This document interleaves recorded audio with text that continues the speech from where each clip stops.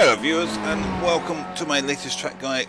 This week we are at Circuit Park Zandvoort Grand Prix layout in the Skip Barber.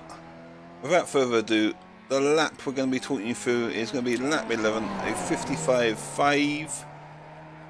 The setup on screen now for all laps set within this session. Please feel free to copy that if you wish. And the weather conditions on screen now for all laps set within this session. Try to get them as close as possible to the official settings. So with that said, let's head to the track. Okay, so here we are on track, just coming across the start line to start our flying lap. As we come into turn one, we're going to be braking using the line across the track as our reference braking marker, um, all the way down to first gear. Important to note, as we start to brake, you can see the car, the rear end of the car is dropping away from us slightly due to the cambered nature of the corner. So we've got, got a little bit of um, left-hand steering going on as we, just to help balance out the car under braking. Coming out the corner, going to be going up to fourth gear. As we come to the end of this curb on the left here, we're going to be dropping down to third gear through the right-hander. Oops camera's gone a bit funky. As we, in this corner, be sure not to hit the right hand side curb. Um, that can shoot you off awkwardly. Into this corner, dropping down to second gear, sorry, first gear.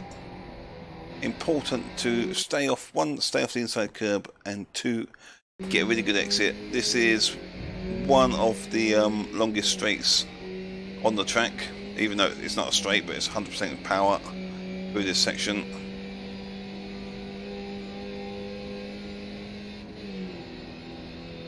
As we come to the top of this hill, probably using, you can probably use the, um, you can see the, the end of the um, railing on the left there, just as a brake reference marker. You can see we're just starting to apply some brakes now. We're going to be dropping down to fourth gear, a little bit of off throttle, and just managing the car, hold it on the inside of the track, in fourth. As we come through here, we stick into the left hand side of the track as much as we can uh, before we drop in down to third and then we're going to throw the car in. Use all this curb on the right hand side, don't be afraid of that. And you may have just seen it go out of shot, but the right hand corner marker, we're using that as a reference point. Dropping down to second gear as we pass it.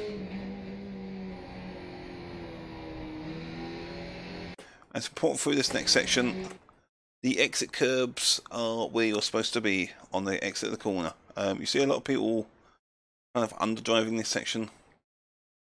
So just basically line up the curbs.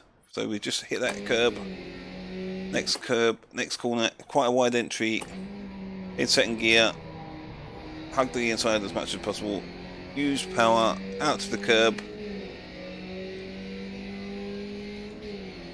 Coming down to this next corner, quite an important corner, quite a quite a frequent overtaking spot um, with on the track as well. Going to be using the start of the curb on the left hand side of the brake reference marker down to second gear. Said it earlier, really want to throw the car in across the curbs as much as possible.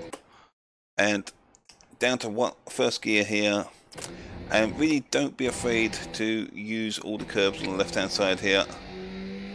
Again, track out the curbs on the exit to third gear.